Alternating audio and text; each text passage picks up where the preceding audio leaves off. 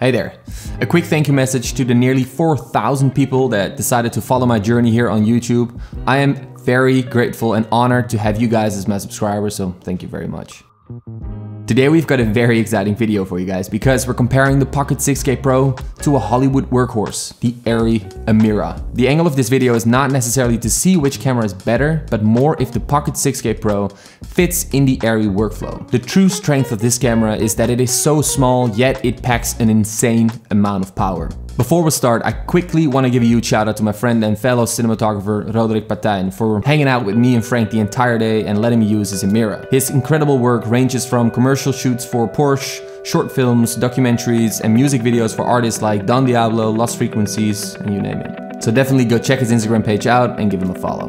With that being said, let's start with the first sequence. Can you spot which camera it was shot on? Let me know in the comments below while you're watching it, and don't cheat.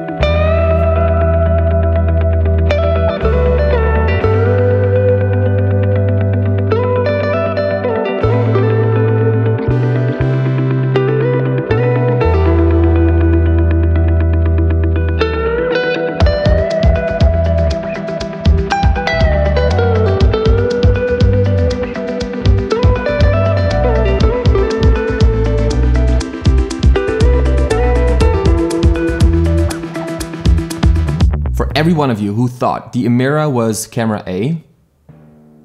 Nice, good job. Proud of you.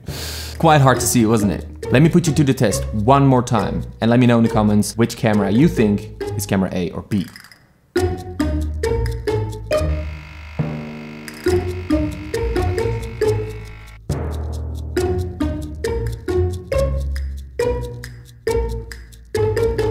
Alright, for everyone who thought the Blackmagic was camera B, Good, nice, yes. As you can clearly see in this example is that, especially in the end shot, the roll off is so nice and smooth that, yeah, that can only be the Arri. Obvious. Anyway, let's continue to the skate sequence. Here we're trying to see how both cameras capture fast moving objects and to see the effects of rolling shutter. So, let's roll.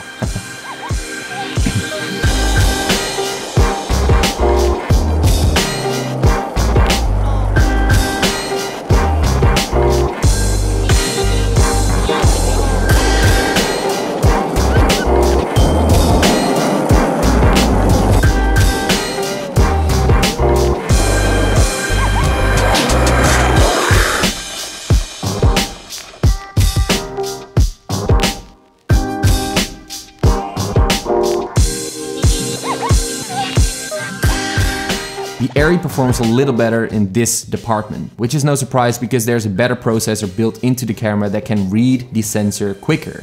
If you don't know what a rolling shutter is, basically if you compare it to the Red Komodo who has a global shutter for example, that scans the entire image at once. A rolling shutter scans it from top to bottom.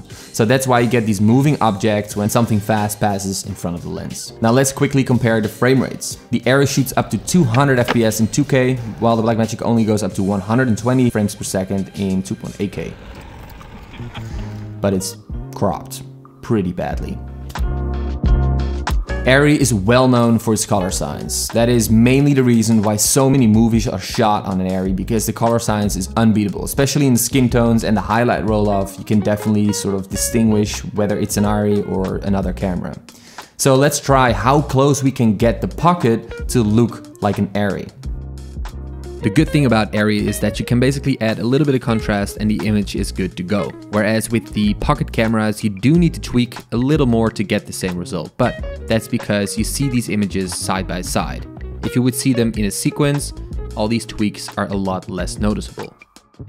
So I personally think that all the pocket cameras can be used in a more high-end cinema production as a B camera or a small sort of, you know, easy to rig camera on top of cars, in corners, rooms, you name it.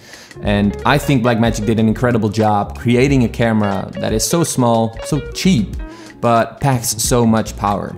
Of course, Arri is superior in a lot of departments such as skin tone color rendition, highlight roll-off, um, you know, connectivity, all that stuff. But for the $2,500 this camera costs, I think it's a very legit option to use in a higher end cinema production. I think we've talked enough. I hope you enjoyed this video. Make sure to follow Roderick and make sure to follow Frank as well. Both of them are in the description below, as well as my LUTs that I use for this video. So make sure to check them out as well. And uh, thank you for watching and I'll see you guys next week. Frank said I couldn't do peace anymore, but sort of a habit.